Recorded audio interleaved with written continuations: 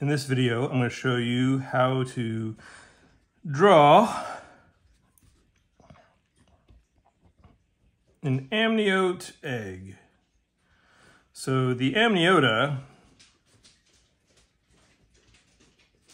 are a clade of vertebrates, which includes mammals, uh, as well as all of the traditional reptiles which means turtles, tortoises, terrapins, and the testudines, as well as snakes and uh, lizards, geckos, and anoles, and the squamata. Also, um,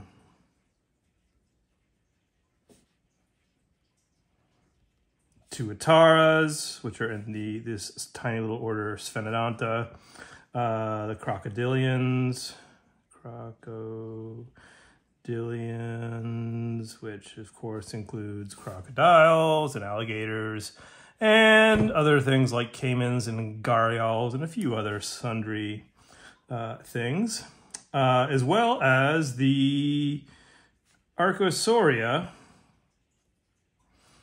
which is mostly all extinct except for the survivors of the Archosauria, which are the aves or birds. So Archosauria includes dinosaurs as well as some close relatives of dinosaurs that are not actually considered to be part of the dinosaurs. Um, but who cares? They're dead. Some people, a lot of people care. They're dead. But um, birds, You'll recognize this as a bird egg. Okay. So we're going to start off with sort of an egg shape. And this is just sort of your familiar chicken egg shape. Uh, bird eggs and other uh, amniote eggs come in different shapes, different forms. Uh, we're most used to the chicken egg, of course. It is our kind of archetypical egg.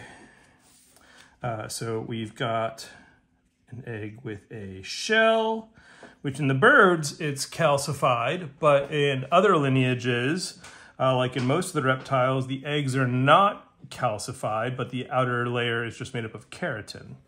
So keratin's a big theme in all of the amniotes because uh, hyperproducing keratin is just one characteristic that enables amniotes to survive uh, on dry land and not have to rely on water so much for their reproduction and just for respiration and survival. Uh, so eggs have an air space for gas exchange.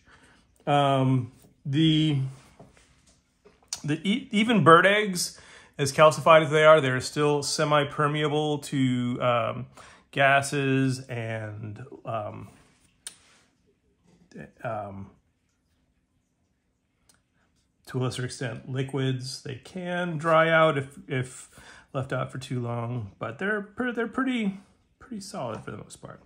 Okay, now in the center of that, we're going to put a circle. You might say, aha, I think I know what that is, but we're going to get to that. So surrounding the um, this thing here is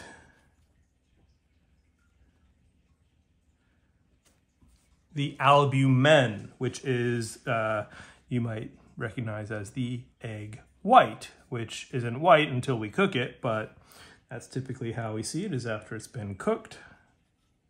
Uh, albumen, with an E there, is mostly made up of a protein called albumin, which is M-I-N. Um, that is a very easily digestible protein. It can be easily broken down because its function is to get converted from a whole bunch of amino acids into whatever the embryo needs to make biomass grow into whatever that's going to be. Okay, so inside this circle here, we're going to put three kind of lobes.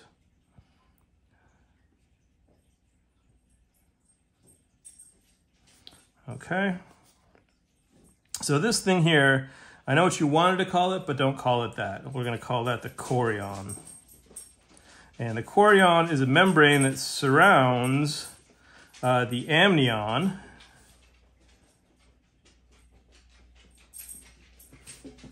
Inside the amnion, we're going to find our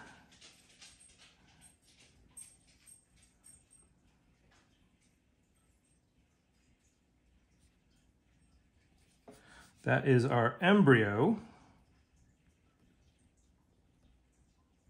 The embryo grows and develops inside this membrane, the, am, the amniotic sac, filled with amniotic fluid, or sometimes this is known as the amniotic cavity inside there, but that's where the embryo is. That's the thing that's growing and developing into the new chicken or, you know, crocodile or bird or whatever. Um, so these other two membranes have uh, some vascular tissue in there, which is what I'm drawing, some blood vessels. Uh, this one is what you probably thought that whole circle was. That is the yolk within a yolk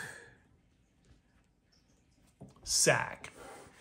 And the yolk, the function of the yolk is it's another nutritional material that provides the energy um, and biomass that's going to be converted from this tiny little thing into eventually, you know, whatever the the the um, that is an embryo of. Uh, yeah, we were have that embryo.